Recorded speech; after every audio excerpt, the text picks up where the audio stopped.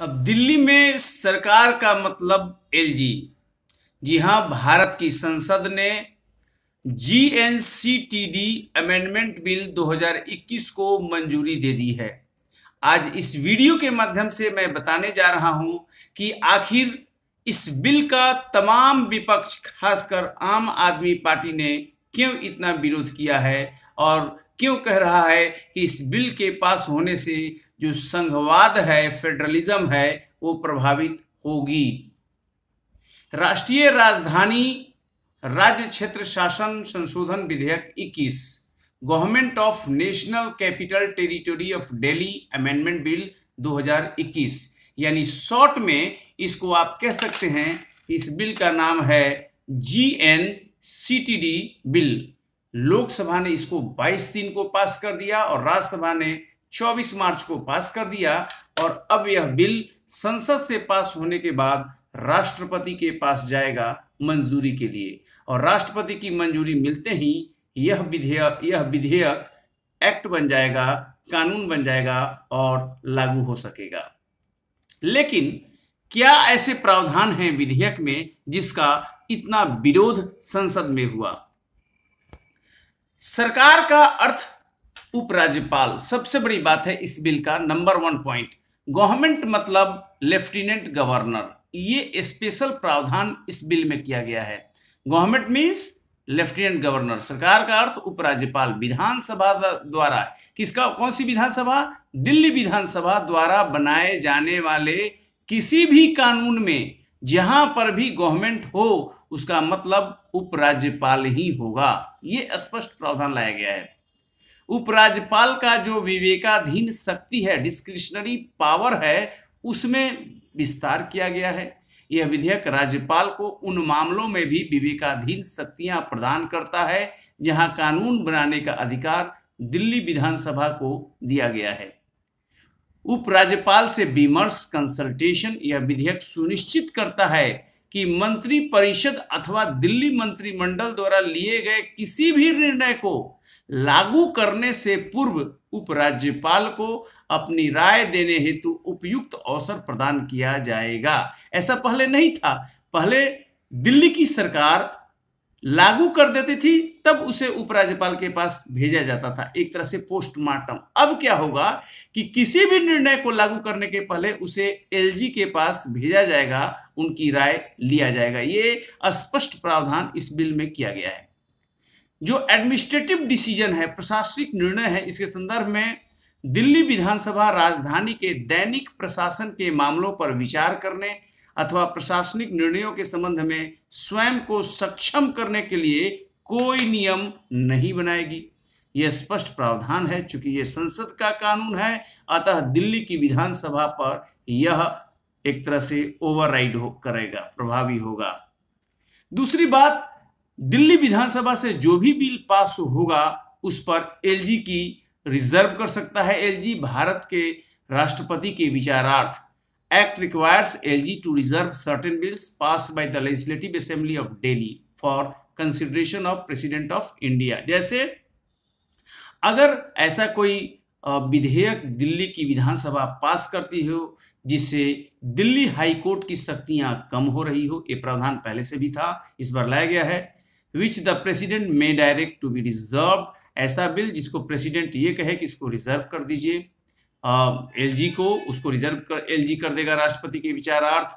Dealing with salaries allowance of speaker deputy speaker and members of the assembly and the ministers ऐसा कोई salary allowance जो speaker deputy speaker का हो MLAs का हो दिल्ली में मिनिस्टर्स का हो, अगर इसका पुनर्निर्धारण हो, ये भी राष्ट्रपति के विचारार्थ एलजी रिज़र्व कर सकते हैं ऐसे बिल को। Relating to official language of assembly और द एनसीटी ऑफ़ दिल्ली ऐसा कोई बिल हो, उसको भी एलजी स्पष्ट रूप से प्रेसिडेंट के कंसिडरेशन के लिए रिज़र्व कर सकते हैं।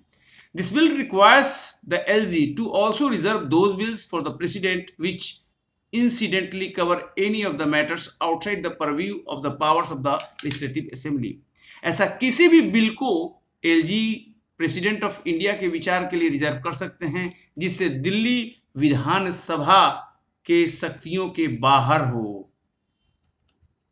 संशोधन की आवश्यकता क्यों ये एक इंपॉर्टेंट बात है क्योंकि कहा गया है कि संशोधन होना नहीं चाहिए, आम आदमी पार्टी कह रहा है। संरचनात्मक स्पष्टता स्ट्रक्चरल क्लैरिटी क्लैरिटी के लिए बिल ज़रूरी था।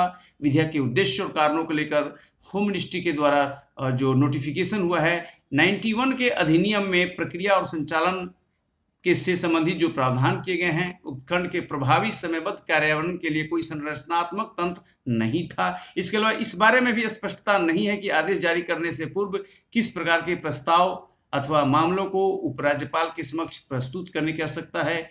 91 के अधिनियम की धारा 44 में कहा गया है कि उपराज्यपाल की सभी कार्रवाई, कार्यकारी कार्रवाइयाँ चाहे मंत्रिपरिषद की सलाह पर हो या नहीं, उपराज्यपाल के नाम पर ही की जाएगी। घटनाओं की अगर पृष्ठभूमि की बात करें, क्यों ऐसा हुआ तो आपको देखना होगा।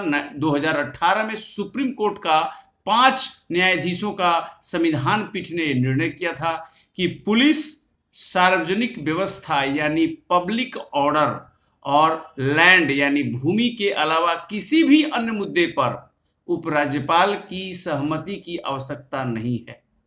फिर से मैं बता रहा हूँ, केवल और केवल तीन, ये सुप्रीम कोर्ट का जजमेंट है, पुलिस, पब्लिक ऑर्डर और लैंड के अलावा किसी भी अन्य मुद्दे पर एलजी की सहमति की आवश्यकता नहीं है।